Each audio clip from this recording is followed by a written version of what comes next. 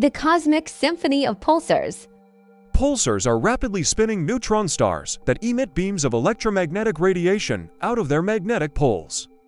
These celestial objects are the remnants of massive stars that have undergone supernova explosions. What makes pulsars fascinating is their incredible precision. Some rotate hundreds of times per second. As they spin, the beams of radiation sweep across the cosmos like lighthouse beams.